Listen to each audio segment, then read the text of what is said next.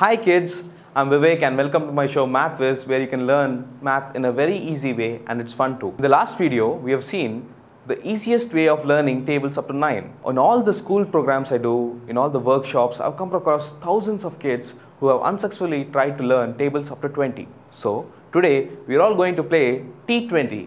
Yes, you have heard me right. T20, not cricket, but tables up to 20. Before we go to T20, let us see some small concepts of addition. Okay, so let me start with something called friends. So one's friend is 9, two's friend is 8, three's friend is 7, four's friend is 6 and five's friend is 5. Now, can you all find out why the reason they are friends? Yes, because when I add 1 plus 9 or 2 plus 8 or 5 plus 5, I get my boss. So I call 10 as the boss. We can use this boss for adding small numbers. Now we are going to see single digit addition that is adding a single digit to another single digit. I see many children using their fingers to count when they are adding single digit numbers. Let me give you two techniques where you will not be using any finger techniques to add two numbers. The first one is called the nines technique and the second one is called the eights technique. Now let us see what is nines technique. Nines technique says I want to add a single digit number to 9. So suppose I want 9 plus 8.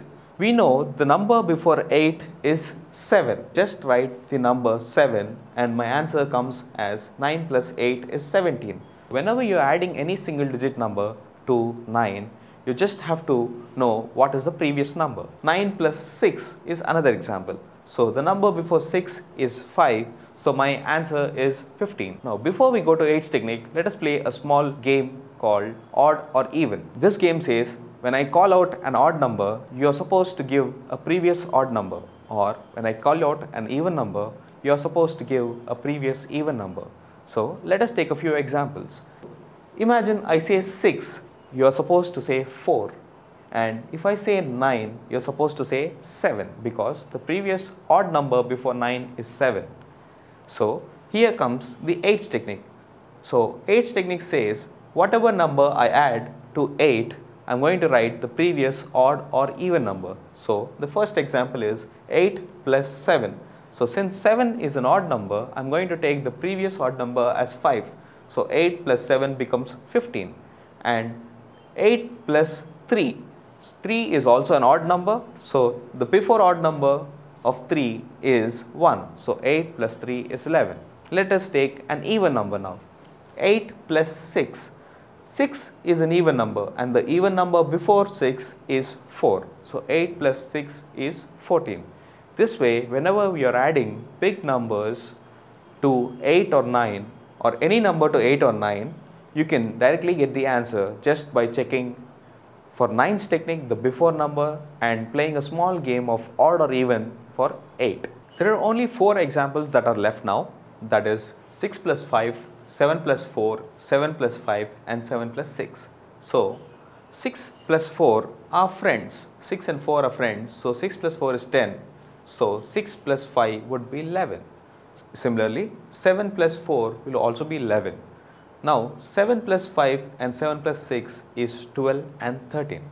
Now the only thing that is left is when I get problems like 6 plus 6, 7 plus 7, you can use a small 2 table and get the answer. Suppose I have 6 plus 6 I can say 6 plus 6 is 6 times 2 and the answer is 12. We are going to break our tables up to 20 into two parts. The first part is going to be called higher tables 1 and the second part is going to be called higher tables 2.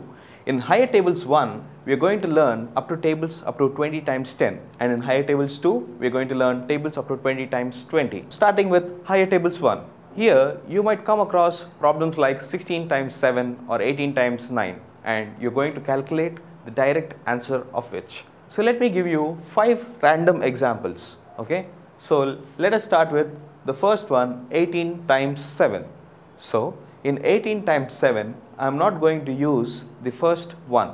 So my problem becomes 8 times 7. In the last video we have learned how to calculate 8 times 7.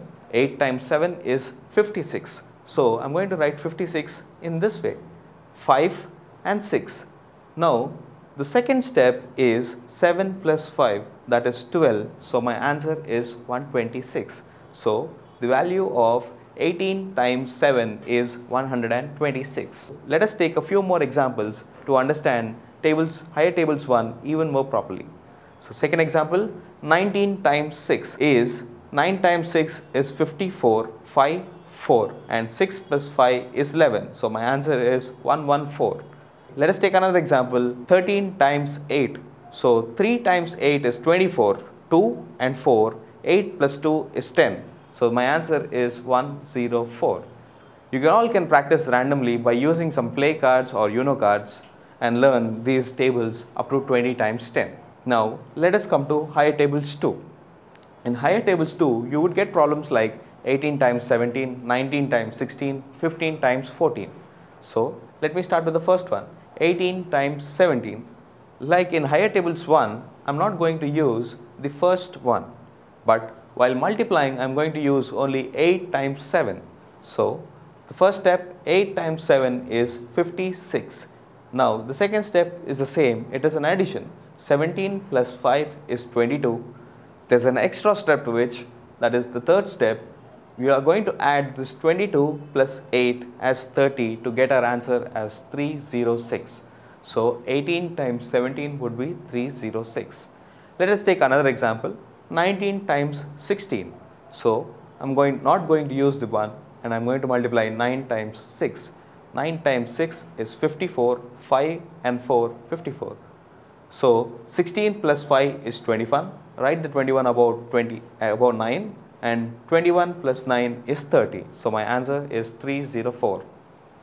So you've seen how to learn tables up to 20 times 20. So kids, keep practicing until next time we'll meet. We'll be learning a lot of techniques on multiplications. Bye.